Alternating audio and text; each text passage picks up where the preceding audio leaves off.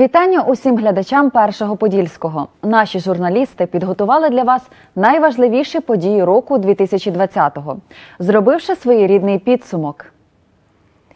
Отож, ми готові. Розпочинаємо.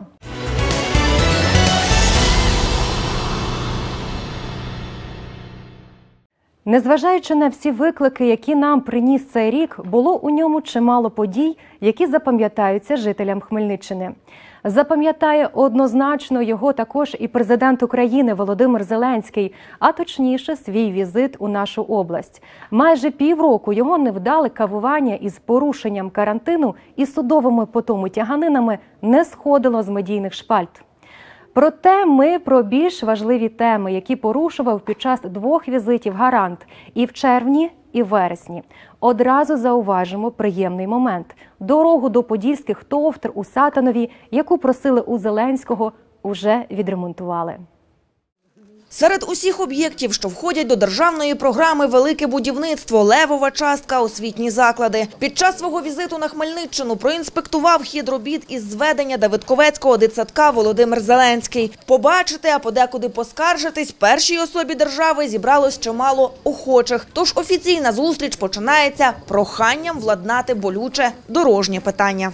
Там три, там невеличка та дорога. Скільки там кілометрів? Скільки? Якщо від перехрестя, це 3 кілометри. Ну, три кілометри, що ви не можете побудувати три кілометри? Побудуємо. Побудуйте. Побудуємо. Нехорошо, люди живуть, скаржаться. На стендах локації візиту підготували усі об'єкти. Щоправда, Хмельниччина не відповідає президентському формату 5-5-5. Дмитро Габінет звітує. В роботі багато шкіл, а от із спортивними закладами та садочками до п'ятірки не дотягують. Скільки шкіл? У нас програма була 5 шкіл, 5 садочків, 5 стадіонів, стадіонів правильно? Так. До 1 вересня Ми до 1 вересня більше шкіл здаємо. У нас Скільки? буде 11 шкіл, які будуть 11, прекрасно. Так. Садочків. Садочків у нас виходить 3, Чому? тому що здат- здаточні об'єкти е, ми визначили саме 3, які ми цього року закінчимо саме по садочку. А де два ще садочки? Е, Два будуть здані наступного року. Бо нам, е, якщо вже так говорити чесно, то можна було пропорцію... Тільки чесно і треба. Да, шкіл можна було трошки більше, садочки можна було трошки зменшити. Ну, так, в принципі, в нас виходило по реально здаточної можливості. Так воно А скільки тоді садочків в планах на наступний рік? Наступний рік у нас буде 4 ще садочка. Чотири мало. Ви ж зараз два не зробили. А на наступний рік треба ж скільки? Ще п'ять садочків? Допрацюємо, буде 5. Попри те, що сумарна кількість інфраструктурних об'єктів в області в нормі, президент наголосив на необхідності прискорити темпи, адже за свою каденцію має в планах забезпечити Україну на максимум. У нас з вами є було 5 років. За рік ми робимо чому 5-5-5. Все розраховано, що ми за 5 років закінчуємо повністю інфраструктуру в Україні. Достатньо садочків, достатньо шкіл, достатньо е, спортивних майданчиків. Заводня тримається, а ми будемо Будь ласка. працювати. Всього два тижні тому Давид Ковецький ДНЗ інспектував міністр розвитку громад та території Олексій Чернишов. Вже сьогодні заклад приймає гаранта. Підрядник розповідає, дітям усіх категорій буде комфортно та затишно, а роботи завершить до Дня Незалежності. Тож новий навчальний рік дітвора розпочне у новому приміщенні. Завадити можуть лише посилені карантинні заходи, чого сподіваються, не буде. Тут буде ліфт у нас стояти для е, мобільних груп. Мобільних з обмеженими можливостями. Отут це, все буде демонтовуватися, бо проект пройшов е, експертизу і з- згідно нових умов на перший поверх, на другий поверх будуть буде ліфт. Перемикання вже запроєктовано, все пройшло експертизу А ліг для чого? для людей з обмеженими можливостями, щоб могли доступу до приміщення. Правильно. А тому який буде ліг? Це ж великий повинен. Звичайно, да, він збоку буде, там все запроєктовано, все відповідає нормам. Як ви до 1 вересня це встигли? До 24 серпня. Задача ми 24 символічно. Оцінив Володимир Зеленський і роботу свого представника в області Дмитра Габінета. У нас з'являться 5 шкіл, 5 садочків, 5 стадіонів в кожній області. Дуже хочеться, щоб Хмельниччина була одним із переможців згідно якості і термінів. От з місцевими дорогами складна ситуація, але будемо допомагати, розмовляти з місцевою владою, іноді, іноді тиснути. Я думаю, що на нас ніхто не ображається, тому що все одно в кінці кінці всі ми боремося за результат. От у нас тут нормальний голова обласної державної адміністрації. А 1 вересня, якщо все здасть, то буде і продовжувати свою роботу. І це прекрасно. Окрім Давидківців, відбулася запланована зустріч з підприємцями. В планах і відвідане обласного лабораторного центру та 4 червня інспекція дороги великого будівництва. Обіцяють взяти на розгляд і питання туризму. Отож, стежте за новинами Першого Подільського.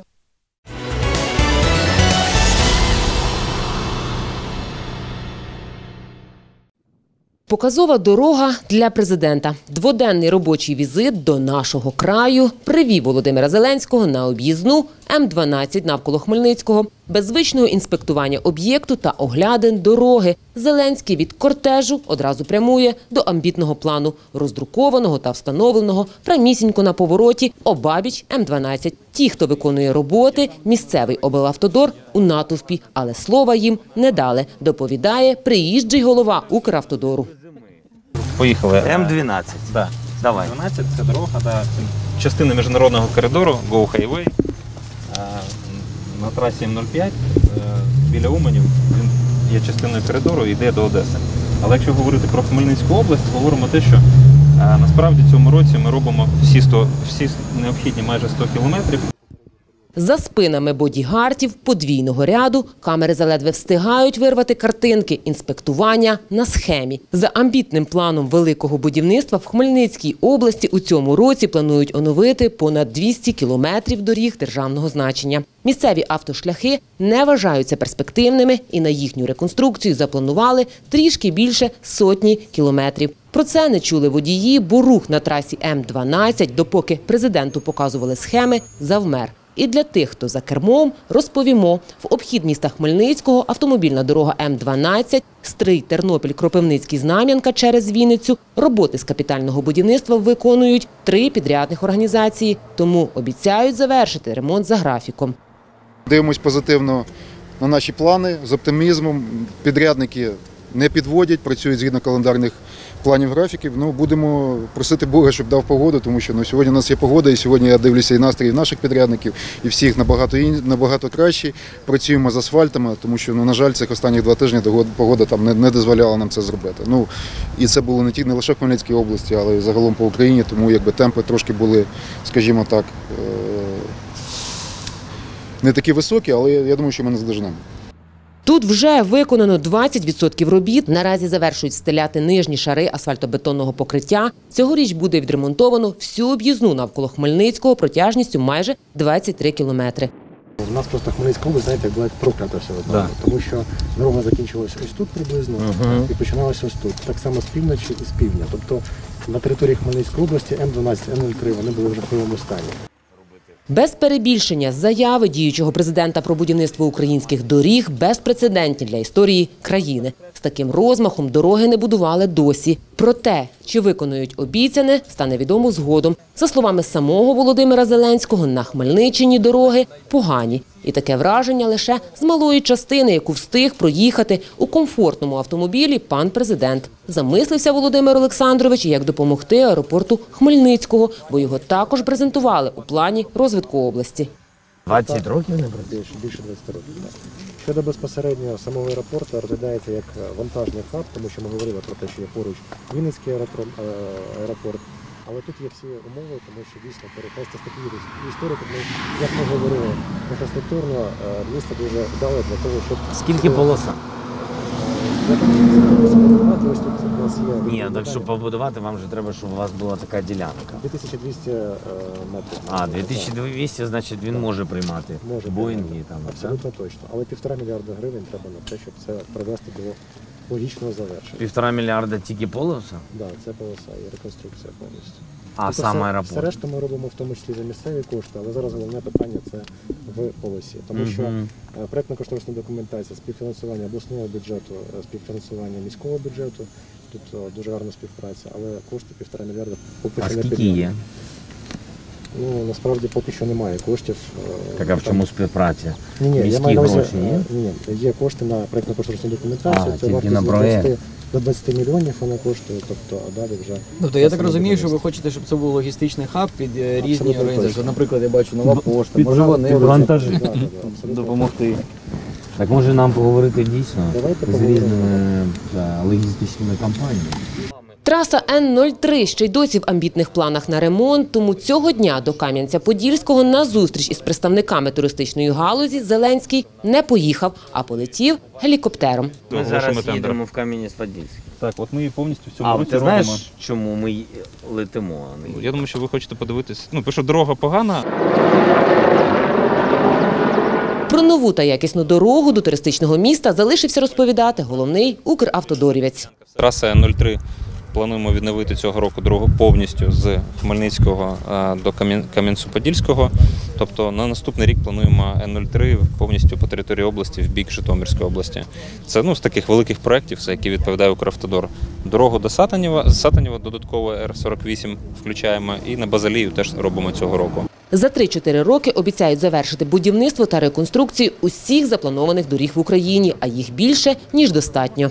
Найгірший стан доріг Луганська, Закарпатська, от як не дивно, це області от, от, ну, на сході і на заході, але все рівно от дві, дві області, я б сказав, не найгірше. Черкаська дуже погана дорожня мережа була за останні роки. Обіцяного слід три роки чекати, стверджує народна мудрість. А в Укравтодорі пообіцяли вже наступного року повністю відремонтувати трасу сполучення Хмельницький-Житомир. Тож мета є, будівництво триває. Щоправда, ті, хто користується автошляхами місцевого значення, їдуть та лють сльози через свої неамбітні дороги.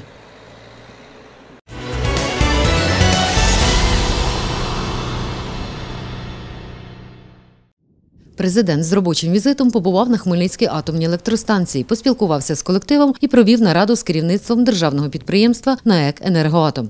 Зараз піднімали декілька питань. Питання Хмельницької АЕС, питання е, заборгованості, дуже актуальне питання, яке накопичилося впродовж 10 років. І стає питання в цілому напрямку, куди йде країна і як вона, крім слів, буде підтримувати атомну енергетику України, де ми займаємо потужні позиції е, не просто на е, території е, колишнього е, Радянського Союзу серед інших республік чи інших вже на сьогодні незалежних країн, а що ми маємо потужну позицію у світі. Президент пообіцяв уже найближчими днями підписати указ щодо підтримки атомної енергетики. Одне з першочергових завдань і добудова третього та четвертого блоків ХАЕС. Те, що я побачив цифри, цифри дійс- дійсно ну, такі непрості для українського бюджету, але є виходи. Я бачив пропозицію знов таки ж е, Петра е, Котіна і пропозицію директора Хмельницької АЕС, е, де ми можемо знайти гроші, як ми їх знайдемо і в які приблизно терміни. Е, Окрім е, коштів обговорювали терміни. Про терміни, ну, дайте паузу, про це- треба все прорахувати і е, тоді буде винесена е, пропозиція, і суспільство про це узнає. П'ять тисяч людей працює. Важливо. Якщо запустимо третій четвертий блок, ще приблизно буде працювати впродовж будування і запуску е, в цілому по країні буде працювати плюс 100 тисяч робочих місць. Мені здається, що це і є задача, з якою треба державі розібратися. Глава держави доручив урядовцям розробити стратегію розвитку атомної енергетики України з конкретними термінами виконання, адже це головний напрямок енергетики країни. Третє складне питання, дійсно питання податків. Будемо зустрічатися з е, нашим паном керівником податкового паном Любченка. Проговоримо теж це питання. Я думаю, що ми всі зацікавлені в тому, щоб підтримати українську атомку, найдешевша е, енергетика, найдешевша е, електрична е, електрична енергія для е, нашого, перш за все, суспільства. Кабінет міністрів же мусить забезпечити фінансування будівництва третього та четвертого енергоблоків ХАЕС, вирішити питання заборгованості перед енергоатомом та вивести компанію на вищий рівень підпорядкування державного управління.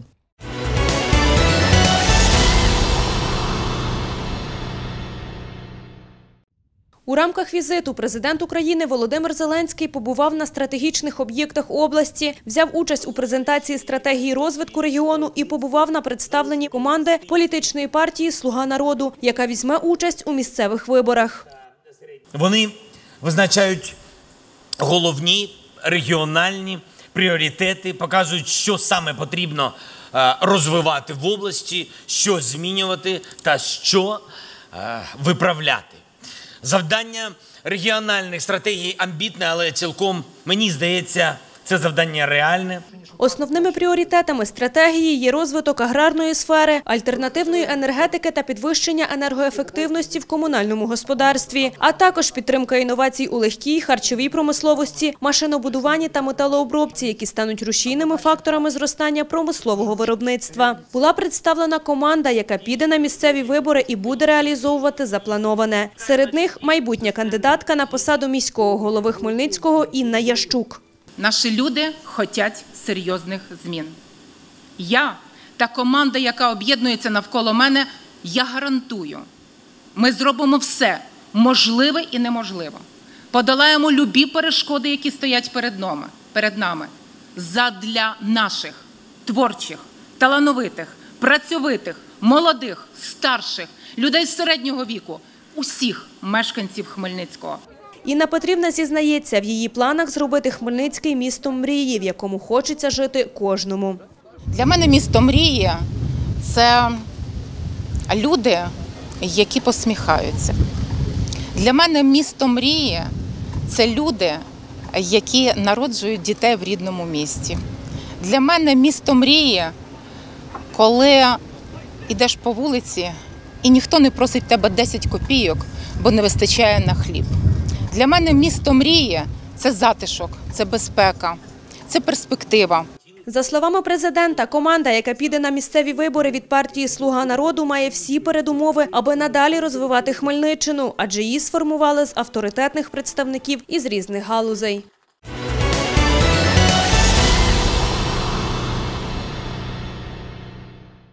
Так, і ще однією важливою подією року стали місцеві вибори, що відбулися за новими правилами та уже на основі нового адміністративного устрою. Краяни 25 жовтня успішно проголосували і обрали 1668 депутатів до 64 місцевих рад обласної, трьох районних, 13 міських, 22 селищних та 25 сільських.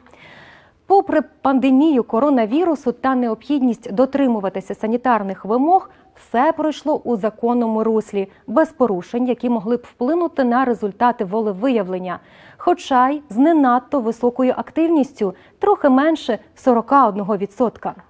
Пропонуємо вам згадати, яким побачили журналісти першого подільського день, що визначив курс тергромад на найближчі роки.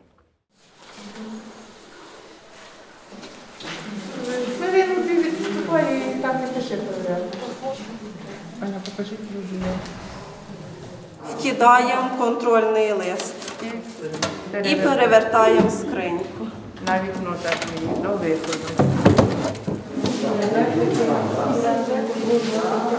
Шановні члени дільничної комісії, е, ми вже отримали списки виборців, протоколи, е, е, списки бюлетенів виборців, е, опломбували скриньки.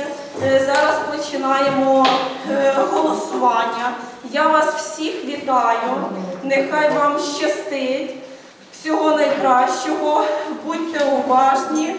Ну і все, починаємо працювати. Дільниця до виборів готова. Заходьте.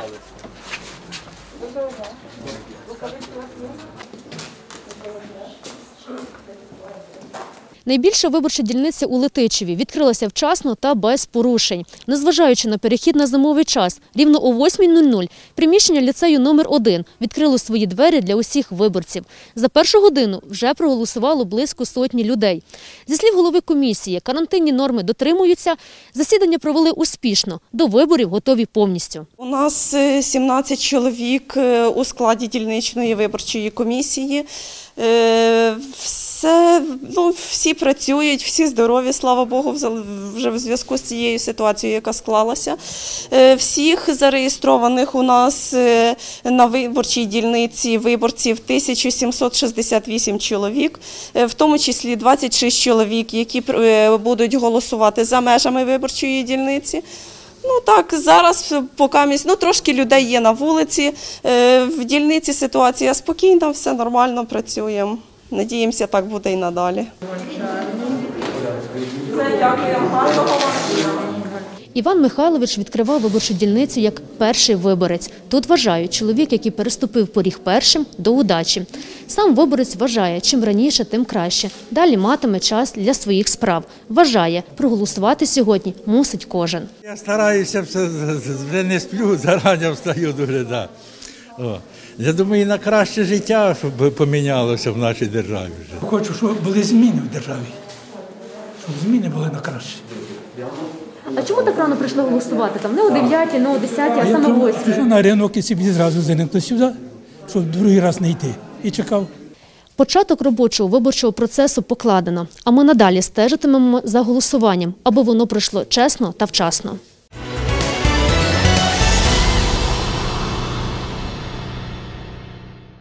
У Єрмолинецькому районі початок виборчого процесу виявився спокійним. За словами членів комісії, зранку спостерігається не надто висока активність виборців. Контролюють процес спостерігачі. Їх обов'язок слідкувати, аби процес волевиявлення відбувався без порушень. Якщо такі трапляються, знають, як діяти. І на одній з дільниць вже застосували практичні навички. Склали один акт за номером 226, бо неправильно було виписано одна, одна анкета. Більш контрольована ситуація у сільській місцевості, оскільки виборців тут очікують небагато, тому і переконані, що процес виборів пройде без ускладнень. Все відбувалося в рамках закону, тобто е, опломбувалися урни, кинули контрольні пакети. Ось, е, ну і після гімну розпочало е, відбулося відкриття виборчої дільниці.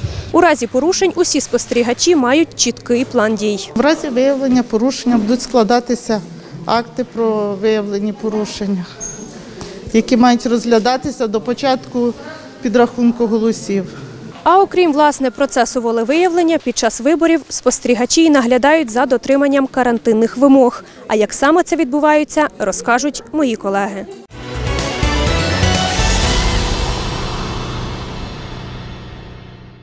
На обличчях виборців та членів комісій маски, на вході антисептики та вимірювання температури.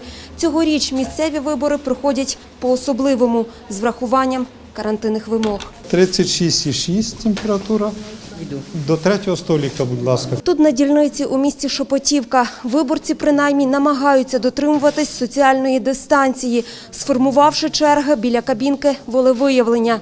У кожного в руках своя ручка. На всякий випадок, тому що може бути вірус раз, може не писати, може бути відсутня. У нас може все бути. Прийшла своєю ручкою, тому що якби карантин, вірус і боюсь. Так треба, щоб своя була, чесно кажу, так як є. Нікому не довіряємо, тільки ну, самі собі. Ви також принесли свою ручку? Я з дружиною. Ми одною пишемо. Тільки їй довіряю. І більше нікому. Всі виборці дотримуються карантинних умов. Приходять в масках, в рукавичках, сидять е, на відстані один від одного. Столи розставлені на відстані метра один від одного. Значить, е, на кожному столі стоїть для обробки рук. Е, Все антисептик, всі е, члени комісії знаходяться в масках, в рукавичках. Е, Проводиться в приміщенні, проводиться через кожні дві години вологе прибирання. Аби усе можна було легко знезаразити, у приміщеннях дільниць не повинно бути тканинних поверхонь.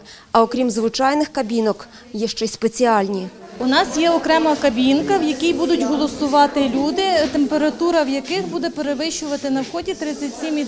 Буде виділено три члена комісії, за якими закріплю- закріплюється переносна скринька, які будуть голосувати на дому. Це люди, які не можуть самостійно пересуватися. Інваліди першої другої групи. Проте не обійшлося і без порушень. На дільниці 68 15 43 у Шепетівці виникла проблема із нестачею бюлетенів майже на третину. Скажіть, будь ласка, яка у вас ситуація з бюлетенями? Чому ви відмовляєтесь коментувати? Вони були запаковані, ніякі упаковки не були пошкоджені. Ми е, все перевіряли чітко. Ми склали про це акт, що упаковки не були пошкоджені. Ми їх прийняли. Просто в самій упаковці не було е, такої кількості, яка була позначена на е, упаковці. 1630 бюлетенів в нас мало бути, була 1152. Я вважаю, що це помилка виробника тих, хто ці бюлетні розпечатував. Тож, якщо ви ще не здійснили волевиявлення, пам'ятайте про власну безпеку, аби не допустити поширення COVID-19.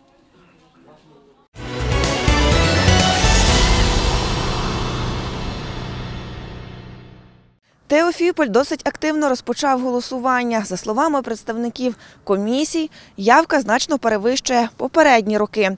Вже на початок роботи дільниці бажаючих взяти участь у голосуванні було понад півсотні. Дотримуються також і карантинних обмежень. Кожних дві години дезінфікують приміщення дільниці. Люди цей рік активно приймають участь, дуже гарно. З самого ранку був великий наплив, у нас прийшло зразу 54 людини. Але так як в зв'язку з карантином заходило по 5 чоловік, щоб дотримуватись дистанцію. Зараз на даний момент проголосувало 304 людини. Це дуже добре, тому що люди переживають за свій район, турбуються, що буде з ним. Це дуже добре. Ми дуже раді, що люди послухалися і йдуть і голосують. Боротьба з коронавірусом внесла свої корективи у виборчий процес. Зокрема, на певних дільницях облаштували окремі кабінки для голосування для людей з підвищеною температурою. Окрім цього, облаштували і окремі урни, як, наприклад, на ось цій дільниці. По закону кожна людина має право проголосувати. Якщо навіть людина приходить на дільницю з температурою, е, взагалі-то ми всім людям міряємо температуру, так повинно бути. Людина з температурою, значить, е, хто стоїть на дверях, оголошує. Ми е, пропускаємо цю людину, але тільки в тому разі, коли вже на дільниці немає нікого. Люди проголосували, ми їх зупиняємо, і проходить людина, яка голосує з температурою. У нас обладнана окрема кабінка, окремо стоїть урна. Теж окремо стоїть, куди людина кидає свої проголосовані бюлетні. Після того ми протираємо поверхню, е, коло якого стола було, ну, робимо дезінфекцію. Чи багато вже сьогодні таких звернулося? Ну, вже в нас скільки? Троє чи четверо людей вже в нас таких було. Да. А от у селі Кунча комісія розпочала свою роботу складання протоколів. Тут кількість бюлетенів перевищила необхідну. Знаємо про те, що отримали більше бюлетенів, складали протокол. Складали протокол. А наскільки більше бюлетенів? 109. Отримали на 109 протоколів по виборах до, о, ви- до бюлетенів до, по виборах до е, селищної ради. То тільки одних бюлетенів. До селищної ради, інших ні. Склали протокол. Склали протокол. Не на всіх дільницях, однак, проводять і опитування президента.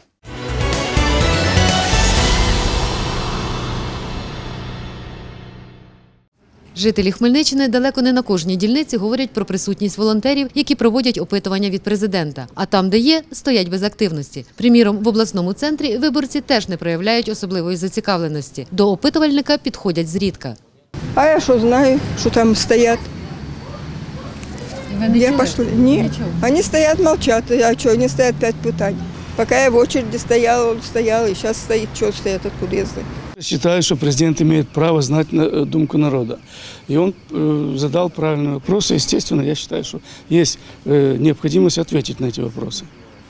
Так что поддерживаем президента. Щоб з- ви- вивести свої позиції до цих питань, які в них е, нормальні, які не дуже.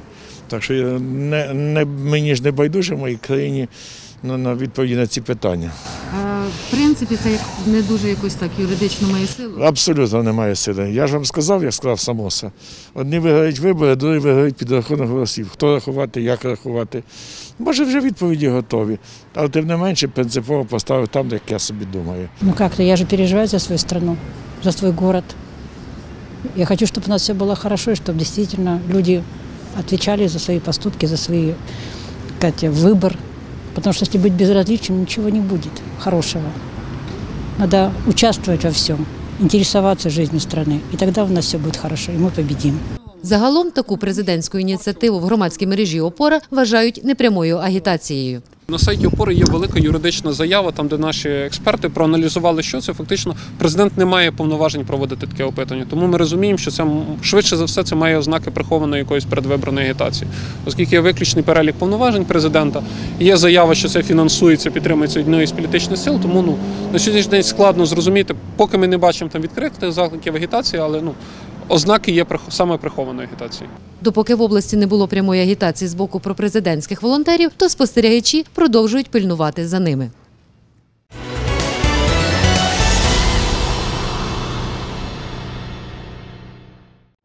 На Городоччині також успішно стартував виборчий процес. Місцеві дотримуються карантинних обмежень. Більшість приходять зі своїми ручками. На цій дільниці очікують 1207 виборців. Станом на 12.00 проголосувало 15%. Серед звичайних місцевих жителів тут волевиявлення здійснюють і відомі особистості. Зокрема, народний депутат Олександр Герега. На дільницю прибув сам, карантинних обмежень дотримався.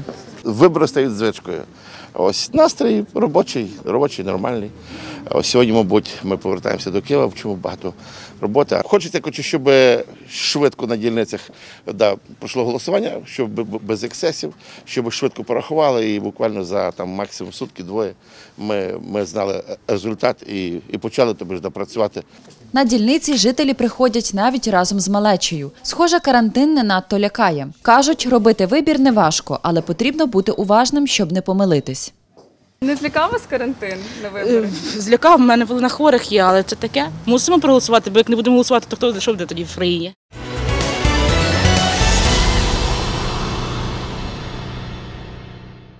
Про перебіг голосування на Хмельниччині представники громадської мережі Опора кажуть, що порушення, які вже зафіксовані, хоч і часом носять масовий характер, навряд чи спотворять результати волевиявлення. Де не де залишається агітація, яка не знята. Але знову ж ми не бачимо цьому масового характеру. Десь на дільниці люди можуть прийти там з пакетом, з символікою політичної партії чи кандидата. Ну теж не порушення. Людям роблять зауваження, вони прибирають. Тому ну щось системного ми не бачимо, але традиційні проблеми спроба проголосувати без паспорта, те, що ми вже говорили по фото було. Ось, але системності ми наразі не вбачаємо. Найтиповіших недоліків виділили кілька. Окремі з них характерні для обласного центру, інші для сільських дільниць. Агітація на е, виборчих дільницях з роздачею масок ключів, вона була масово, так, тобто воно було масово на е, кількох округах до Хмельницької міської ради помічено.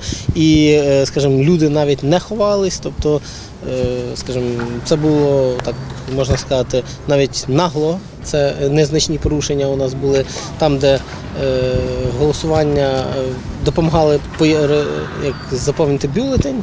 Е, людина, яка не мала б допомагати, це не інший виборець, це член комісії. Тобто таке процедурне порушення. Ну це не є якийсь кримінал. Серйозних таких якихось е, речей, які можуть стверджувати про е, зрив виборів, у нас немає. Правоохоронці теж фіксують небагато порушень та намагаються одразу їх усунути. Всього до відділів відділень Головного управління Національної поліції Хмельницької області надійшло 45 повідомлень, пов'язаних з виборчим процесом. Е, Серед них 25 повідомлень зі скаргами від громадян щодо проведення всеукраїнського опитування, 4 повідомлення про можливе проведення агітації. На даний момент ці випадки проходять перевірку. Е, Одне повідомлення про те, що член комісії допомагав заповнювати бюлетень.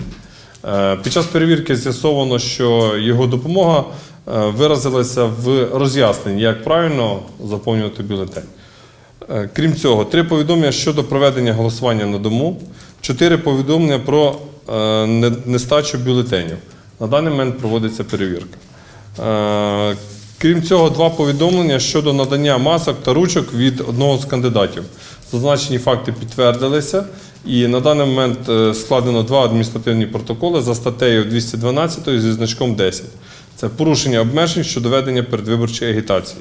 Санкція зазначеної статті передбачає покарання у вигляді штрафу у розмірі е, 3400-5200 гривень. Щодо явки, то на цьогорічних місцевих виборах її системно не моніторять. –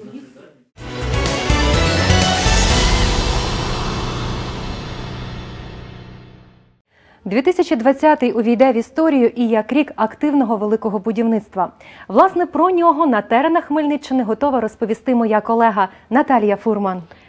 Дякую, Людмило.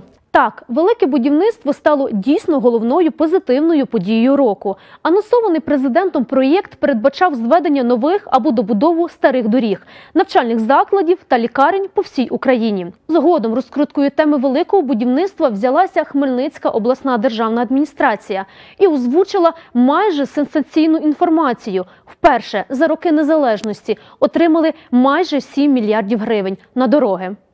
Ці дороги фінансуються з дорожнього фонду, який був започаткований раніше. Але то, що стосується Хмельницької області, у нас фінансування рекордне. І за це рекордне фінансування ми маємо побудувати відповідно дві біля 217 кілометрів доріг по нашій області. Ми знаходимося з вами на об'їзні міста Хмельницького, яка має протяжність 23 кілометри. Е, Ця ділянка цих 23 кілометри згідно тендерних процедур була розділена на 9 об'єктів. На восьми об'єктах на сьогоднішній день відбуваються роботи. Дев'ятий об'єкт 270-75 кілометр. Е, Нещодавно відбулася аукціонна процедура. Ми е, згідно процедури маємо підписати, законтрактувати цей об'єкт. І він вже найближчим часом до кінця місяця розпочнеться робота так само на цьому об'єкті.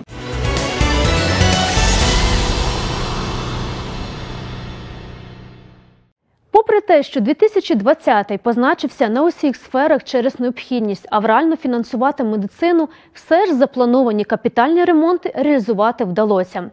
Зокрема, це дві дороги міжнародного значення на Хмельниччині Н-03 та М-12.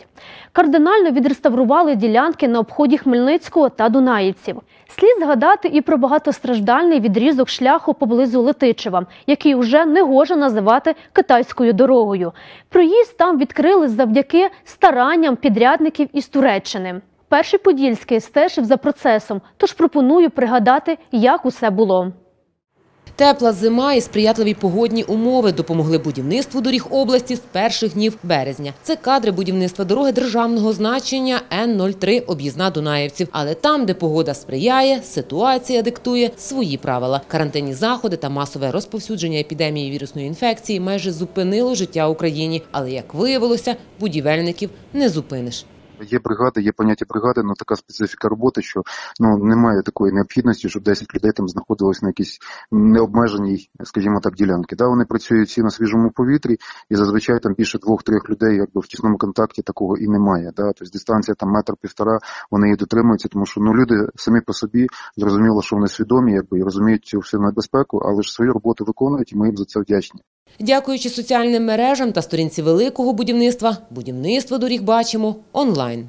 М12, наша траса Стрий Тернопіль Кіровоград Знам'янка е, на межі області. На межі області, якби це 191 кілометр, там де об'єкт поточного капітального ремонту, якби там ведуться роботи, ведуться земляні роботи з облаштування земляного полотна.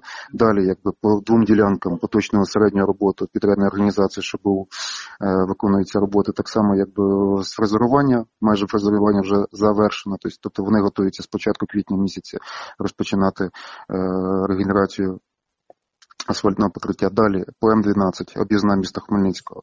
По двом об'єктам вже на протязі двох тижнів ведуться підрядної організації СТЛ плюс М роботи по влаштуванню земляного полотна, по е, земляні роботи, так звані, якби, і роботи зі штучними спорудами. Е, Від е, 260-го кілометра, це від Єрмолинецького округа підрядною організацією автострада, виконуються підготовчі роботи. Е, Далі по Н-03 Житомир-Чернівці об'їзна міста Дунаївця, обхід міста Дунаївця ведуться земляні роботи вже виконані. Е, Починаємо роботи зі стабілізації ґрунтів. І по ділянкам Н-03, е, це ділянки Вихлівка і Антонівці, виконуються геодезичні роботи і виконується заготівля, е, підготовка до заготівелі матеріалів. З площадками підрядники визначились, тобто робота йде все, все по графіку, все по плану. До великого будівництва увійшли не лише автошляхи, а й реконструкція або ж будівництво інфраструктурних об'єктів. У нашій області це дитсадки та школи. У селі Корчики Шепетівського району будується навчальний заклад для двох сотень школярів.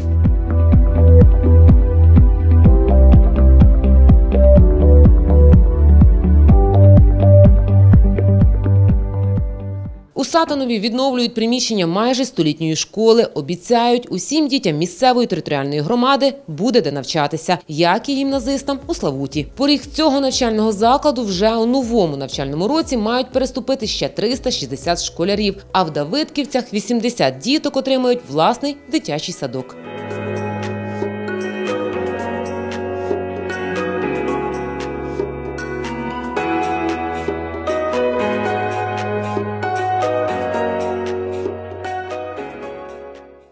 В Укравтодорі обіцяють, як тільки завершать шивати Україну європейськими дорогами, а це станеться не раніше 2022 року, жителі Західної України скоротять свій час поїздки між містами на 20-50%.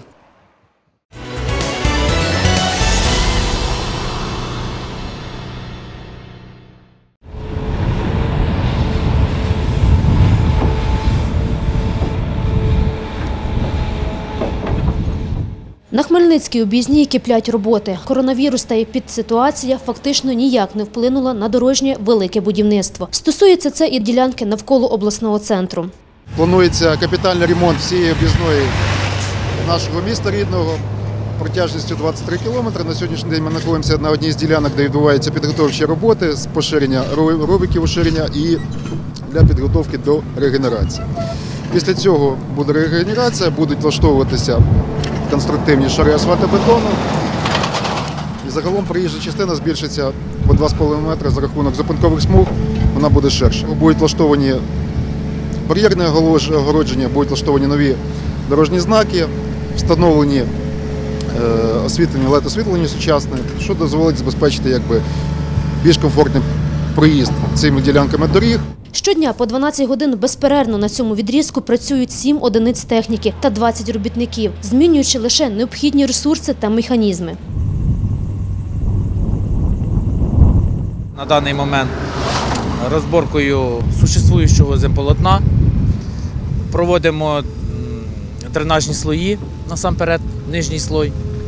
От. Е, Ну і подальше будемо проводити весь конструктив для, для дороги. Тобто це є нижній слой, середній слой, щіпні, асфальт і верхній слой асфальту. Далі будемо проводити укріплювальні роботи, заміна нових труб водопропускних через дорогу, от, е, водоскидів, ну і засів трав, ну все остальне, що на дорозі. Як ви їдете, бачите. Цей участок ділянки ми плануємо до середини квітня е, закінчити в нижньому слої асфальту. Приблизно за місяць сподіваються завершити роботу тут. Однак чи зміниться вартість робіт, поки не наважуються говорити. По деяким ділянкам обхід міста Хмельницького це від 252 кілометра від круга, від західного під'їзду до Хмельницького, до круга до так званого Давидковецького перехрестя, до 275. Як я вже казав, це 23 кілометри, і не всі ділянки ще, скажімо так, проведені тендерні процедури, не визначені переможці. Вартість загальна протя- протяжності, е, вартість всієї 20, всіх 23 кілометрів буде вже відома на той момент, коли ми розіграємо всі торги, коли ми вже здамо експлуатацію всі об'єкти. Усі роботи на автошляхах області фінансуються із Державного дорожнього фонду. Автодорівці планують до кінця року на будівництво, капітальний та поточно середній ремонт обласної мережі магістрали дорожнього значення використати усі 3 мільярди 118 мільйонів гривень.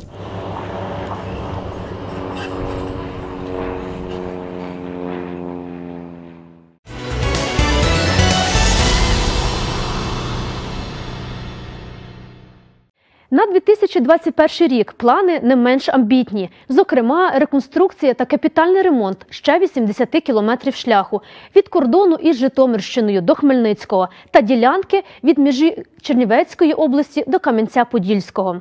У великому будівництві наша область втримала за собою лідерство. Проте інші, не менш градіозні плани загальмувала непередбачувана катастрофа, яка зачепила увесь світ. Про неї детальніше продовжить моя колега Ірина Вітко. Дійсно, 2020-й для усього світу можна охрестити як рік боротьби з коронавірусом. Перші ж випадки інфікування в Україні зафіксували у березні. Тоді ж з'явилися і пацієнти з підозрами на ковід на Хмельниччині. А уже 1 квітня в області недугу підтвердили у трьох пацієнтів. В інфекційній лікарні Хмельницького наразі перебувають двоє пацієнтів з підозрою на коронавірус. Сьогодні поступила жінка 38 років з Хмельницького. Ми поставили підозру на коронавірусну інфекцію. По-перше, вона скаржилась на підвищену температуру, задишку кашель. Рентгенологічно в неї є однобічна пневмонія. Стан її середньої важкості, але вона була в контакті зі своїм чоловіком, який приїхав з панами і з пересадками літаків чотири пересадки робив. І в чоловіка теж пневмонія двостороння, але він вилікувався і здоровий. але контакт з ним був. Е, Ми зробили тест на грип від'ємний, зробили один тест на коронавірус наш Він від'ємний, але незважаючи на це, ми подали в лабораторний центр на дослідження, тому що вона хворіє недовго, і наш тест може бути від'ємний, бо в неї ще могли не встигнути виробитися антитіла. Поки ми не получимо е, дослідження з лабораторного центру, там більш таке серйозне обстеження. Ми не будемо підозру знімати. Вона все отримує. Вона позвонила чоловіку, щоб він прийшов. Ми його теж хочемо обстежити. Хлопець 28 років привезли тільки що село Трибухівці. Був в Польщі пару днів назад. Висока температура 39, але пневмонії не схоже. Середньої важкості стан. Його зараз обстежуємо. Підозру теж поставили. Будемо обстежити своїм тестом і будемо відправляти на обласний лабораторний центр. В області зафіксовано вже три лабораторно підтверджених випадки на COVID-19. Третьою стала жінка з Волочиського району, яка повернулася за кордону. Влада стверджує, коло її контактів вже визначено і вони перебувають на самоізоляції. На сьогодні інфекційна лікарня першою приймає ймовірних хворих на коронавірусну інфекцію. Та якщо буде переповнена, на допомогу прийде міська. Тут планується розгорнути 174 ліжкомісць для ймовірних інфікованих на COVID-19. За словами Олександра Семчишина, усім хворих на пневмонію будуть робити аналізи на коронавірус, як і медикам, які контактують з хворими. передбачені 10 апаратів ШВЛ. Сьогодні ми підписали угоду і думаємо, що до кінця дня вона вже буде зареєстрована в Прозоро. Нам обіцяють е, до двох тижнів поставку 10 апаратів. Мільйон виділений на пульсоксиметри і кисневі концентратори. З пульсоксиметрами проблем немає, з кисневими концентраторами трохи є, тому що найближчу доставку, яку обіцяють, це е, фактично 20 числа квітня. Більше ніде за кордоном в Україні ми їх знайти, на жаль, не можемо.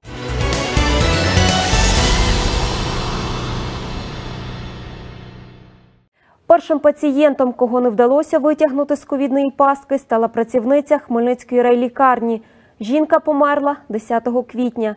Після першого летального випадку з'явилися і спеціальні інструкції щодо поховання померлих від коронавірусу. На випадок, якщо COVID-19 прогресуватиме, відповідні служби, у тому числі й ритуальні, у Хмельницькому готові до всіх варіантів. На кладовищі виділено окрему територію для поховання померлих від коронавірусу. 34-й сектор на кладовищі мікрорайону Раково розрахований на 500 місць для поховання хворих від коронавірусу. Але ми сподіваємося, що такої потреби не буде. Якщо кількість померлих перевищить 500, сектор для поховання буде розширений. Що стосується області, це питання вирішуватимуть на місцях. Це безпосередньо буде вирішуватися місцевою владою в районах, де е, безпосередньо районними державними адміністраціями спільно з органами місцевого самоврядування. Під час процесу поховання також мусять дотримуватися вимог, передбачених для захисту від поширення вірусу. Було місцеве розпорядження, яке стосується поховань е, людей померлих на внаслідок е, віруса COVID-19. Поховання має відбуватися лише, в герметичному мішку, тобто тіло в домовину е, ложиться запаковане в мішок, домовина закривається під час прощання. Е, На кладовищі обмежена кількість людей, це не більше 10 людей, в тому числі з священником. Е, Перевезення тіла додому на зал прощання, під під'їзд, як у нас е, в місті інколи практикують, такого не буде. Це лише з моргу патанатомії, який знаходиться на території обласної лікарні, тіло везеться на кладовище. Наразі для поховання є сотня герметичних мішків та захисні костюми для працівників. Ось так от виглядає мішок, за який була мова.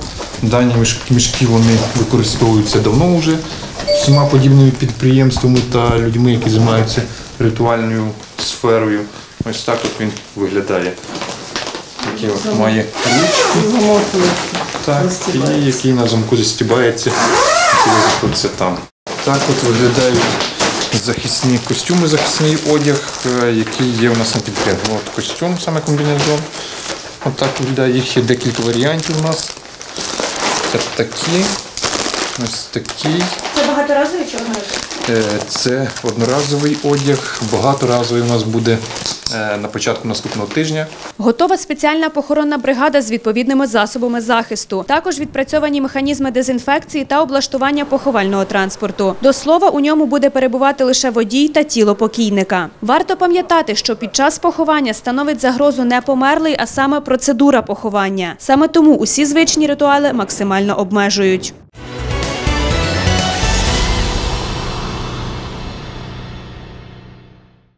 За період пандемії для Хмельниччини найважчим періодом боротьби з недугою стала осінь. Саме тоді кількість тих, кого підкосила хвороба, досягла піку. За весь період реєстрації захворюваності на коронавірус у Хмельницькій області найбільш ураженими виявились Ярмолинецький, Теофіпольський, Волочиський райони та міста Нетішин і Славута. Найвищий ковідний стрибок спостерігався восени. Найбільша кількість випадків е, по статистиці в нас е, припадала на жовтень-листопад місяць поточного року. Це 63% від загальної кількості захворілих. Так, в жовтні у нас було зареєстровано е, майже 11 тисяч випадків, в листопаді місяці майже 13 тисяч випадків COVID-19 серед жителів нашої області. Е, Летальність також в ці місяці була найвищою. В жовтні 206 випадків було зареєстровано, в листопаді місяці 239 випадків. Від початку пандемії в області зросла і потужність лабораторної мережі щодо діагностики COVID-19. Методом ПЛР в нас діагностують е, в Хмельницькому обласному лабораторному центрі, е, також в е, міському перинатальному центрі, в місті Нетішин у нас є лабораторія, а також є низка приватних лабораторій, де можуть громадяни прийти і е, здати на дослідження матеріали для діагностики.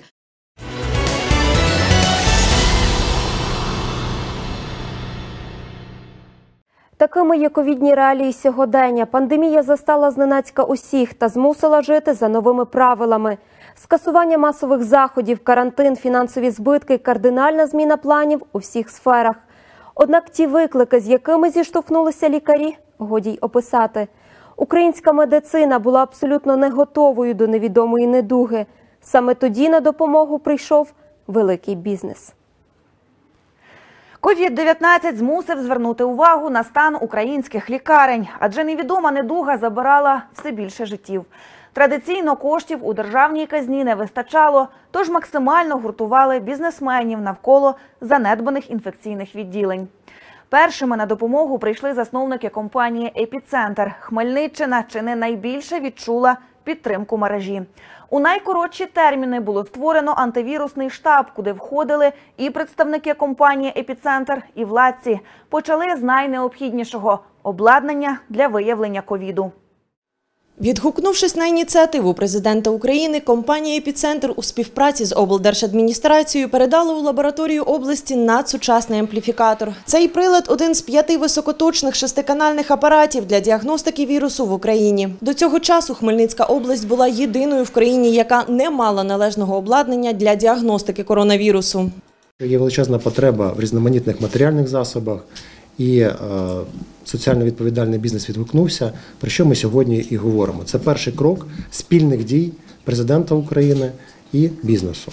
Надсучасний апарат дозволяє за 5-6 годин встановити наявність вірусу COVID-19. Це дає змогу не лише швидко поставити точний діагноз хворому, а й перевірити контактних осіб. Завдяки наявності ампліфікатора медичні працівники оперативно та в найкоротші терміни прийматимуть рішення щодо лікування пацієнтів. Відтак можна зменшити кількість важкохворих. Це обладнання вже встановлено, воно вже функціонує, і наші працівники два дні освоїли його правила роботи. Це обладнання входить в п'ятірку найсучасніших обладнань, ті, які мають лабораторні центри на території України. Це обладнання предназначено для проведення так називаємої ПЦР-діагностики. Діагностика, яка дає 99 99 десятків відсотків наявності, ми можемо визначити наявності РНК вірусу, в тому числі коронавірусу. Коронавірус COVID-19. Крім цього, зазначене обладнання може бути використано і в інших дослідженнях, таких як вірусні гепатити А, Б, С, е, грипи типу А, типу Б, генетично модифіковані речовини. А ще діагностика на ампліфікаторі дасть змогу оперативно ізолювати хворих та зменшити розповсюдження епідемії коронавірусу. Його вартість майже мільйон гривень. Придбавши цей апарат, епіцентр таким чином вирішив підтримати медиків Хмельниччини та жителів області під час пандемії. Ми вже забезпечимо на цьому тижні необхідними захисними костюмами, окулярами, рукавичками, необхідними засобами дезінфекції. Крім того, і я думаю, що це був перший наш крок, е, який ми вже зробили. Ми передали Хмельницькому е, обласному лабораторному центрі ампліфік- ампліфікатор Real-Time SFX 96 та Чому я так е, акцентую на це увагу? Тому що це непросте обладнання. Обладнання такого рівня в Україні існує тільки 5. Ми е, в Хмельницькій області такого обладнання взагалі не існувало. Ми передали вже це обладнання. Я сподіваюся, що це дозволить якнайшвидше. А цей апарат є шестиканальним, який дозволяє швидко діагностувати якраз оцей самий коронавірус. Окрім того, компанія має намір повністю забезпечити всім необхідним область для боротьби з коронавірусом. Днями коштом епіцентру надійдуть не лише апарати ШВЛ, а й інші медикаменти та засоби разом із захисними в медзаклади області. А це не лише інфекційна лікарня. Спільно з представниками обласної влади було зібрано всю інформацію щодо забезпеченості районів. Було прийнято рішення керівництвом компанії, засновником компанії Олександром Володимировичем Герегою, Галиною Федорівною Герегою запустити і замовити першу партію апаратів штучної вентиляції легенів. Ви знаєте, що ця перша партія нами вже озвучена. Я хочу наголосити, що це тільки перша партія, і цих перших 100 апаратів надійдуть в Україну. Ми сподіваємося, вже вже або на цьому тижні, максимум на наступному. Крім того, ми знаємо потребу Хмельницької області, а це 32 апарата штучної вентиляції легень. Ми те, що я вже сказав, з першої партії ми маємо. Точно забезпечити всі е, область, е, в першу чергу опорні лікарні. Ми маємо забезпечити обласну лікарню, і наступними етапами ми е, будемо забезпечити і маємо на меті забезпечити всі районні лікарні цим обладнанням. Представники національної мережі епіцентр наголошують, допомогу від компанії отримає не лише Хмельниччина, а й інші області, аби реагувати на потреби вчасно. Засновники компанії Епіцентр Олександр та Галина Гереги створили оперативний штаб, який перебуває у постійному контакті з владою та узгоджує перелік необхідного. Сюди входять і кисневий концентратор, і набір для, е, для важкої інтубації, і ларингоскоп з набором е, клинків, і електровідсмоктувач, і дозатор лікувальних речовин. І також е, пульсометр. Також сюди входять і у нас в роботі на сьогоднішній день є мобільні рентгенапарати. Тобто цей перелік е, він постійно змінюється і поповнюється, тому що ми вивчаємо потребу. Раніше компанія Епіцентр заявила про придбання для України 100 апаратів ШВЛ. Це лише перша партія обладнання. Наразі укладаються контракти для наступних поставок. Разом з тим закликають інших представників бізнесу не стояти осторонь, долучитися до благодійності та дбати про безпеку України.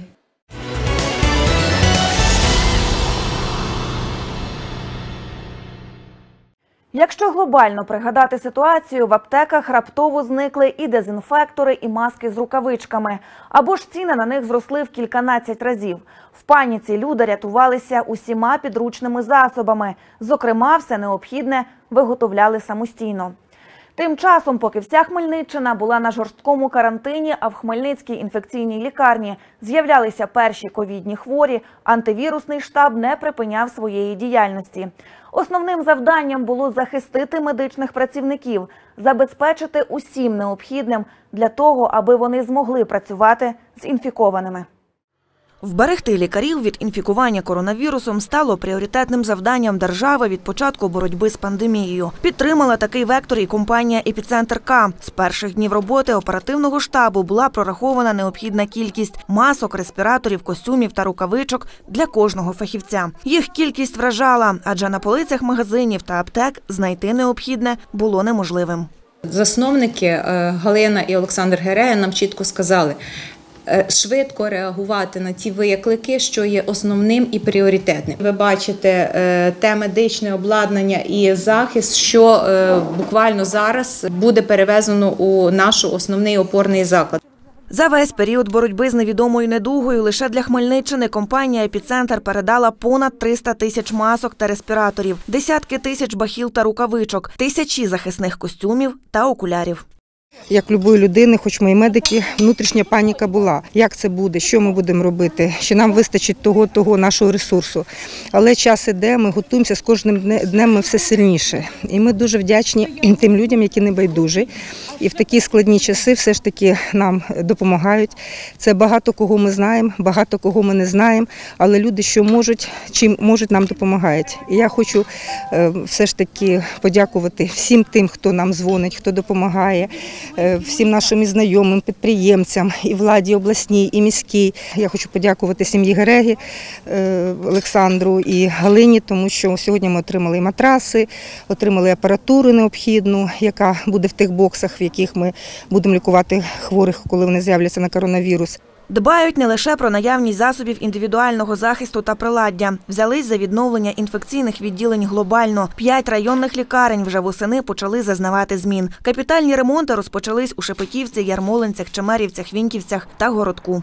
Люди звертаються з е, проханням про ремонт інфекційних відділень абсолютно з всіх е, територій Хмельниччини, тому що інфекційні відділення вони завжди були десь на е, другорядному плані. Ковід все це переміняв і наше мислення, і наше бачення, і відповідно наш підхід. Загалом компанія Епіцентр забезпечила засобами індивідуального захисту абсолютно усі медичні заклади області.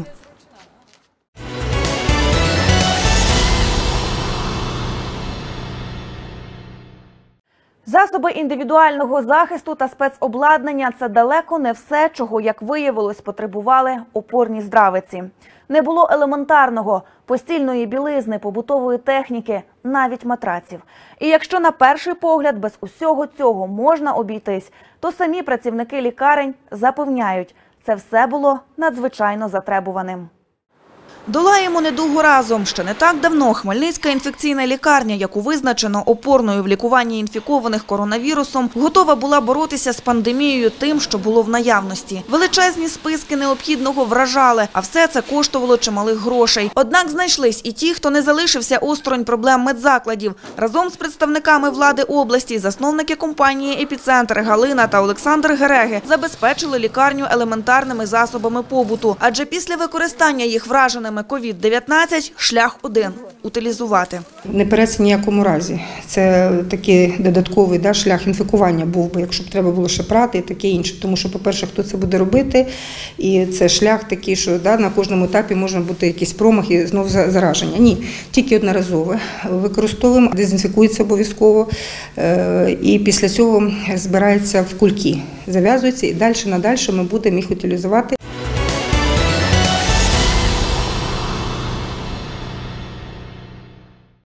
Кисень те, чого найбільше потребують пацієнти, що хворіють ковідом у важкій формі. Але якщо лікарні не мали елементарних предметів побуту, годі й казати про наявність кисневих концентраторів та апаратів штучної вентиляції легень. Ця біда спіткала не лише Україну. У черзі за надважливою спеціалізованою технікою стояв чи не увесь світ. І тут знову на себе обов'язок забезпечити цим необхідним устаткуванням взяли представники соціально відповідального бізнесу «Епіцентр».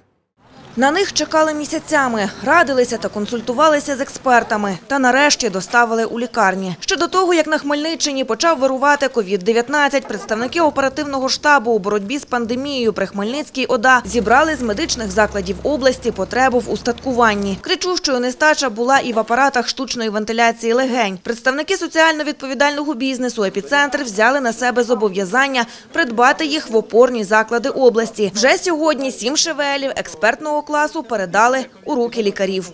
Сьогодні, коли ми привезли ШВЛ-апарати, і причому якісні, американські, які не тільки е, знадобляться в боротьбі із ковітом, а які і будуть лікувати інші хвороби, які навіть неонатальну допомогу можуть надавати діткам. Е, Сьогодні ми вже констатуємо, що це левова частка е, всієї тієї допомоги, яку ми обіцяли як епіцентр надати нашим медикам. Для представників місцевої влади така підтримка від бізнесу стала рятівною подушкою. Адже за підрахунками, самим лише коштом області ці потреби навряд чи можливо було б покрити. Апарати, передусім е, високого класу, вони є потрібними.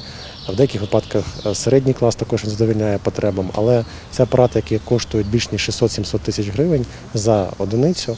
І звичайно, якщо говорити про товаровиробників, то передусім найкращими є саме американські е, апарати. Зі своєї сторони ми забезпечили організаційні заходи, ми забезпечили все те, щоб не допустити в обсягах, які ми бачимо COVID-19 на території Чернівецької області, Тернопільської. Саме з точки зору матеріального забезпечення ми бачимо, що бізнес є більш, е, скажімо так, він є більш е, повороткий, він може швидше відреагувати і е, допомогти в ситуації, коли це є потрібно. У Хмельницькій інфекційній лікарні за чотири карантинних місяці пройшло лікування майже дві сотні пацієнтів із коронавірусом. За словами медичних працівників, одна третя з них потребували підключення до ШВЛ. На озброєнні лікарі мали сім апаратів. Сьогодні отримали ще два. Відтак, завдяки налагодженій співпраці влади та бізнесу, фахівці вкотре видихають з полегшенням. Ми можемо в реанімаційному саме відділенні прийняти до 9 хворих. І ще в нас є бокси мейцеровські, до яких підведен кисень. І туди ми можемо теж встановити апарати і надавати допомогу 13, а якщо прийдеться, і більше хворим. Тому для нас це допомога дуже суттєва. Ми дійсно е, дуже вдячні владі, обласній владі. Ми вдячні власникам і керівництву епіцентру, які нам суттєво допомагають весь час з самого початку. Поставили апарати відомої компанії Сполучених Штатів Америки. Сучасна техніка має ряд переваг. Він легкий у транспортуванні, заряду акумуляторів вистачає на тривалий час роботи, а ще підходить для пацієнтів різної вікової категорії. Це апарат високого класу, екстра класу, який дає можливість е, вентилювати е, людину в різних режимах. Один із них це неінвазивна е, вентиляція. Е, Тобто е, людину е, не потрібно інтубувати, тобто вводити в трахею трубку. Окрім ХІЛ, на сучасних ШВЛ-апаратах відтепер працюватимуть і фахівці Шепетівської, Славутської та Дунаєвецької опорних лікарень. Також техніку передадуть на баланс і Ярмолинецької та Городоцької ЦРЛ. За словами представників оперативного штабу, отримати апарати такого класу завдання не з простих, адже щоб їх придбати, країни вишуковуються у черги та очікують місяцями. Китайський, скажімо, ринок не встигає виробити обладнання для всієї планети Земля. І ви знаєте, що певний ажіотаж е, стосовно медичного обладнання він існує. І справді Україна не була першою в черзі на отримання медичного обладнання. Це американський бренд. Да, Арікея, він е, відомий, він входить в перелік МОЗ, який затверджений обладнання, це сертифіковано. Аби лікарі могли працювати на новій техніці, вже сьогодні запросили і відповідну компанію, яка має усі сертифікати на підключення, встановлення та перевірку медобладнання. ШВЛи високого класу – це не лише необхідність у боротьбі з ковід. Вони і в подальшому значно полегшать роботу медпрацівників, а головне – врятують не одне життя пацієнтів.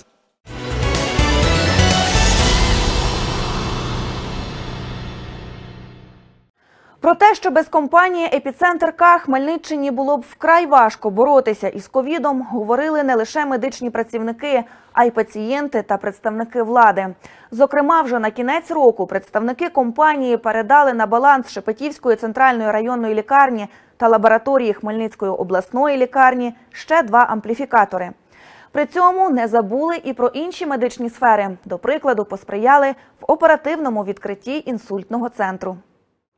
Інсульт – хвороба, від якої за рік помирають тисячі українців. Не менше і тих, хто долає недугу, однак не може після неї стати на ноги. Сучасний інсультний центр, де надаватимуть допомогу як у лікуванні, так і в реабілітації, запрацював у Хмельницькій обласній лікарні. Тут вже приймають і перших пацієнтів.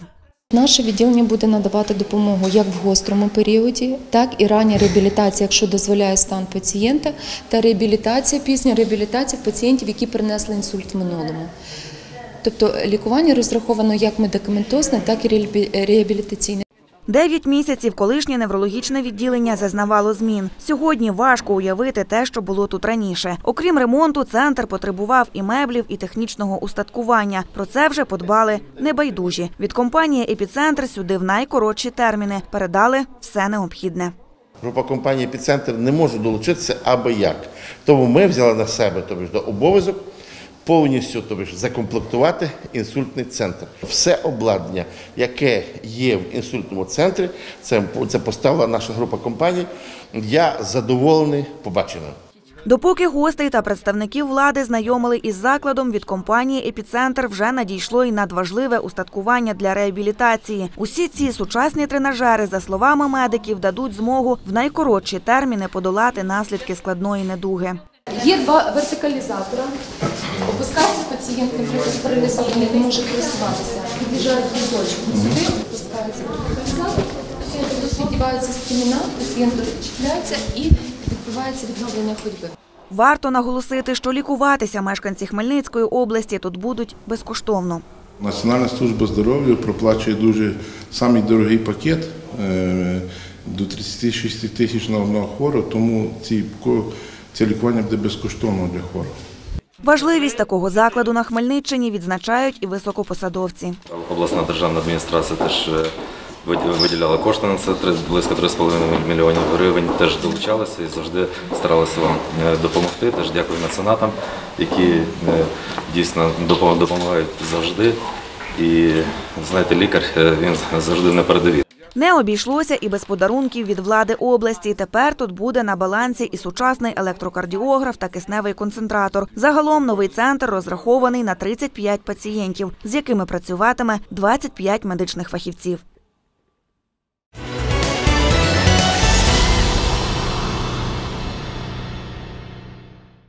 Як бачимо, ковід виштовхнув на поверхню усі проблеми медустанов, що накопичувались десятиліттями. Благо, ми маємо чим пишатися, зокрема, такими компаніями, як Епіцентр К, які увійшли у перелік не просто найбільших українських бізнесів та наповнювачів бюджету, а й однозначно продемонстрували свою небайдужість до долі української нації та готовність завжди прийти на допомогу. Однак коронавірусна пандемія, окрім медицини, вплинула на усі без винятку сфери нашого життя. Зокрема, змінила і задуми туристів. Про це детальніше продовжить наша Ольга Ржипянська. Дійсно, мандрівникам, котрі надавали перевагу відпочинку за кордоном, довелося скасувати свої плани. Проте і Україна має чим вразити вибагливого туриста, і навіть наша мала батьківщина. Протягом року ми вам це доводили. Хмельниччина багата на туристичні цікавинки, унікальні місця, старовинні маєтки, замки та заповідники. Про палац резиденцію історичного значення, водоспад з таємничими особливостями та місце з кліматом, як у сонячній Одесі, пропоную згадати. Мандрувати Хмельниччиною цікаво та пізнавально. На жаль, більшість туристів надають перевагу великим містам та впізнаваним локаціям, забуваючи про те, що і в нашому краї є цікаві місцини варті уваги. Одне з таких – село Антоніни, що на Красилівщині. Саме тут свого часу розмістився палацовий комплекс, що належав родині магнатів Сангушків і Потоцьких в 18-19 століттях. Але після революції у 1918 році Потоцькі залишили Антоніни і виїхали через Швецію у Париж. Палац був спалений більшовиками в 1919 році, а на його місці зараз стадіон. Палац у серпні, 12 серпня, було підпалено більшовиками, і, на жаль, двотижневий пожар не залишив нам нічого від палацу. Тільки по переказах місцевого населення залишилися підземні ходи, які знаходилися е, під палацем. Вони простягаються 10 е, кілометрів. Е, Палац горів два, два тижні, нічого не залишилося. Однак до наших днів вціліли господарські споруди, які розташовані по всій території поселення. Ми з вами знаходимося перед будівлею, яка має назву це Віла над ставом. Також її називали Кадішовка або Лєфлєровка, тому що проживав у ній е, конюший Кадіш та капітан Антонінського стада Лєфлєр. На першому поверсі були квартири, у яких мешкали працівники, управляючі. І дотепер на будівлі залишилося тогочасне покриття та елементи оздоблення. Наразі споруда зачинена для відвідувачів, адже там і досі тривають історичні дослідження. Але й для музею відвели одну із частин резиденції. Реміза для повозок. Ця будівля слугувала е, для збереження возів. Складається вона з центральної двоповерхової частини, а також прилеглих е, симетрично одноповерхових будівель. Зараз у музеї зібрані усі історичні відомості про родину Потоцьких та їх родовід. Ще одна автентична будова сьогодні стала поліцейською станцією, а колись імениті володарі маєтку зберігали тут свій унікальний автопарк. Юзеф та Гелена їздили не тільки на конях, а також вони мали автомобілі. І ось ми з вами знаходимося перед гаражем. Автомобілів у Юзефа Потоцького було 9. Американський олдмобіль, французький лімузин та 7 німецьких автівок. Аби обійти усю резиденцію, не вистачить і кількох годин. В Антонінах про такі місця потрібно розповідати, аби довести, що Хмельниччина здатна вразити будь-якого туриста. Для нас е, цікаво залучити сюди більше людей. Звичайно, інфраструктура досить таки е, ну, не всюди розвинута, е, так якби добре розвинута, але все ж ми повинні привертати увагу до того, що в нас є. Е, Що, е, щоб бачили е, всюди меценати, не тільки туристи, а й меценати, щоб бачили це місцева влада. Отож, Антоніни запрошують активних та допитливих на цікаву мандрівку у часі.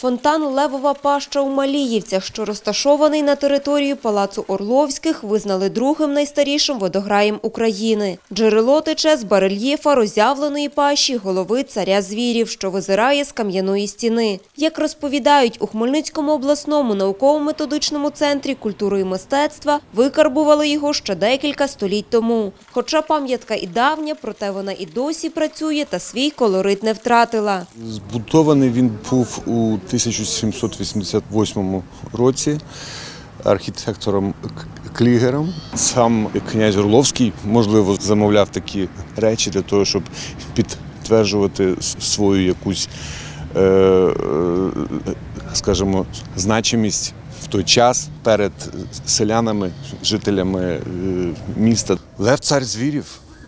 Лев це лідер. Лев це могутність. Самі ж мешканці обласного центру про таку родзинку у рідному краї чули, проте на власні очі бачили не усі. Кажуть, надають перевагу місцевому відпочинку, а влітку поблизу водограїв освіжитися особливо приємно.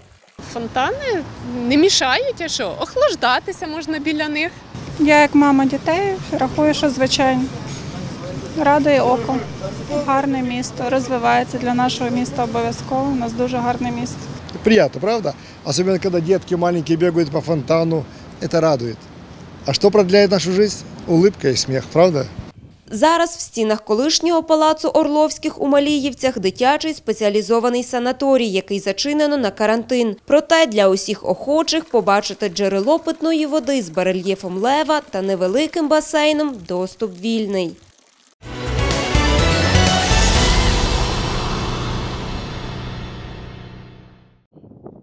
Туристи порівнюють ці краєвиди зі Швейцарією або Норвегією, а історики називають місце українською Атлантидою. Насправді ж, це селище на Поділлі, Бакота. Точніше, це лише його околиця, а сама Бакота ось там, під водою. На початку 80-х село пішло під воду через будівництво Дністровської ГЕС. Люди змушені були покинути свої домівки. Згодом на місці 28 сіл розлились води Дністра. Єдине, що вціліло скельний монастир у Білій горі. У всіх печерах ікони та рушники. Приносять їх люди з різних куточків України. Тут немає поділу на конфесії або ж охоронців. Відвідати святилище може кожен і коли завгодно. Неподалік печер три цілющих джерела. Одне з них, вірять містяни, лікує хвороби очей. Сьогодні ж Бакота не тільки священне місце, але й унікальна зона відпочинку. Запливи на човнах і катамаранах, дайвінг, сплави на байдарках, польоти на пароплані. У Староушицькій ОТГ розповідають, туризм основна їхня місія, яку постійно розвивають. Локації туристичні цікаві, місця, де можна переночувати, де можна похарчуватися, де можна розкласти палатку, тобто е, відпочити е, якісь наметові містечка, кемпінги е, можна розміщувати. Працює QR-код, все нанесено на Google карту. Помилуватися Бакутою щороку приїжджають тисячі туристів. Тут є все для того, аби тілом і душею відчути спокій та отримати незабутні емоції.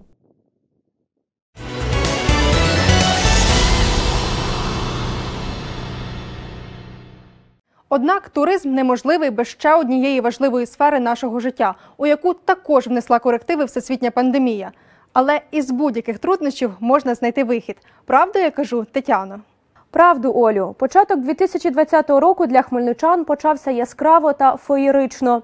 У культурній сфері очікували безліч концертів, фестивалів та масових заходів. У Хмельницькому рік почався з Кубку сміху, який зібрав на одній сцені гумористичні колективи зі всієї України.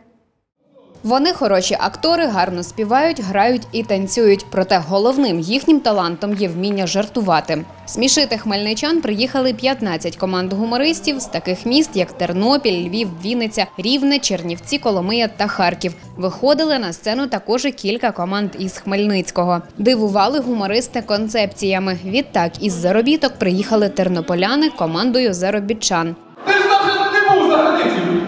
Я, як справжній українець, дотримуюсь одного принципу. Не їдеш сам, відправ тещу.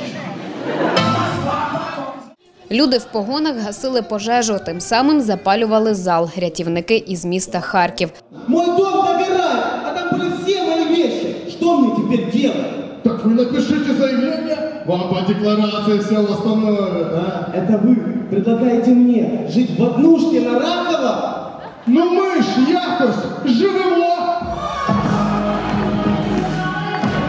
З Карпатських гір спустилися на сцену дикі гуцули із Коломиї.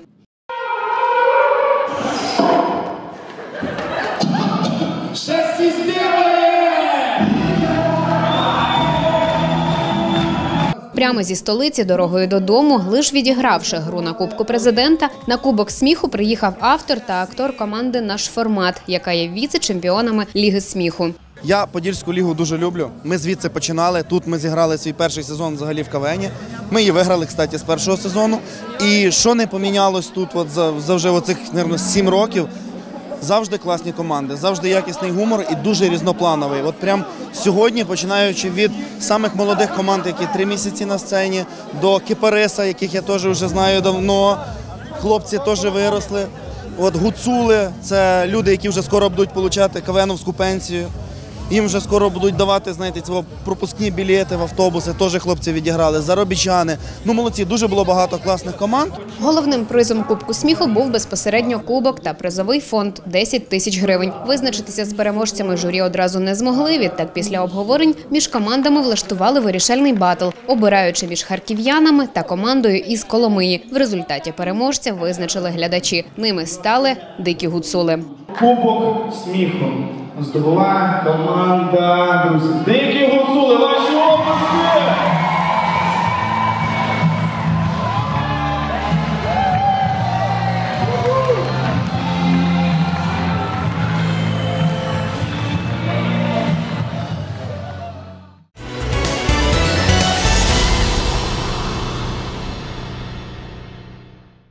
Проте з настанням карантину більшість масових заходів або скасували, або перенесли в онлайн-площину. Одне з карантинних ноу-хау – безпечний автомобільний концерт, що організував популярний український гурт.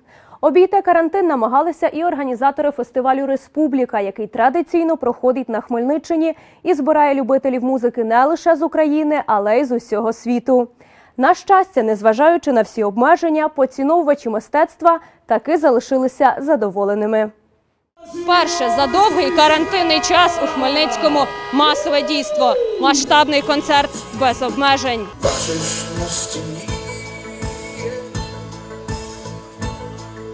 Листи вже не твої. Десятки автомобілів, сотні поціновувачів справжньої української пісні та двогодинний музичний марафон для хмельницького глядача від гурту без обмежень.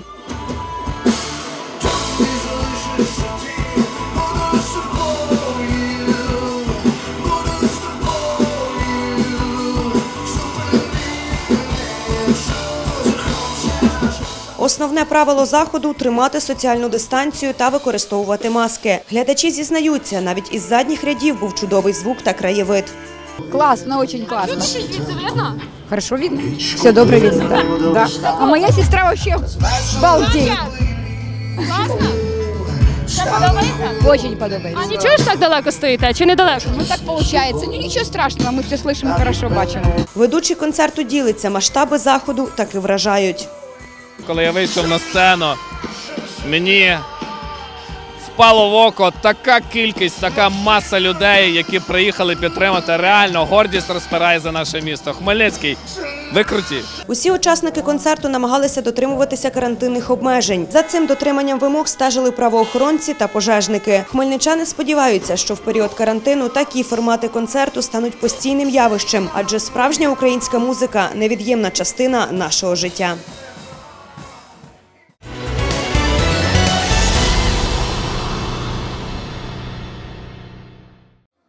Фестиваль Республіка вже не один рік дивує та вражає яскравими виконавцями, якісною українською музикою та незабутніми емоціями. Цьогоріч фестиваль знову повернувся до Кам'янця-Подільського, аби навіть в умовах карантину потішити всіх фанів фесту. Цьогорічний формат дуже дивний, особливий, і він пристосований до пандемії. Ми його випробовуємо за підтримки Українського культурного фонду. Ми знімаємо артистів на різних локаціях, на багато камер і транслюємо в, на канали ютуб-блогерів, де є багато підписників. Ще ми створили в Майнкрафті е, фортецю, відбудували. І туди люди можуть заходити, і там також є наші сцени, грає музика, така сама, як тут у нас. І там можна слухати, спілкуватись. І остання річ інноваційна, яку ми створили, це платформа для онлайн-переглядів і дає можливість е, бачити, що відбувається на фестивалі за допомогою аватарів. Виконавці зізнаються, виступати у такому форматі незвично, але розглядають це як найбільш вдалий варіант розвивати українську музику у сьогоднішніх реаліях. Дуже погано. Дуже погано, це звичайно нестерпно. І ми дуже чекаємо на наступний рік, коли можна буде нормально зіграти. Але нас запросила республіка. Ми звичайно не могли відмовити, тому що це фестиваль, який ми любимо, який ми поважаємо. Тому нам було важливо приїхати і підтримати і організаторів, і тих людей, які власне є постійними відвідувачами республіки. Тому я до цього ставлюся як до такого тимчасового звичайно компромісу, тимчасового формату, який страшенно незручний, страшенно некомфортний. Ну так і є. Піднімають артисти і соціальну тематику, яка на сьогодні вкрай важлива. Реп-виконавиця Альона Альона виступає проти домашнього насильства.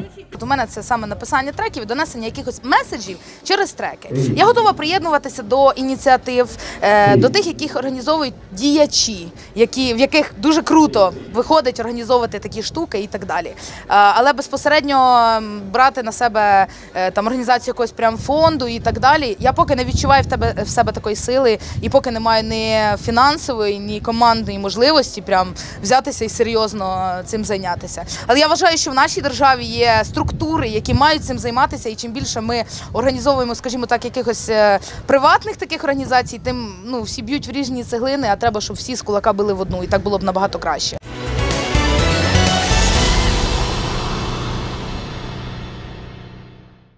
Попри всі негаразди, потрібно знаходити час для позитиву, музики та веселощів, особливо зараз, у період новорічно-різдвяних свят, коли так хочеться вірити у казку. Створюйте радість у своїх домівках, звісно, з дотриманням карантинних вимог. І нехай весь наступний рік дарує лише позитив та мир кожному з нас. Інформаційна служба першого подільського незмінно інформуватиме вас про найважливіше. І нехай це будуть лише гарні новини. До нових зустрічей в ефірі.